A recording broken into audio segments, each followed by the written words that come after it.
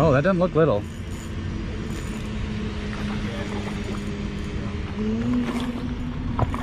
That's a good sized drum. That's the biggest drum I've ever caught. Well, big flex, okay.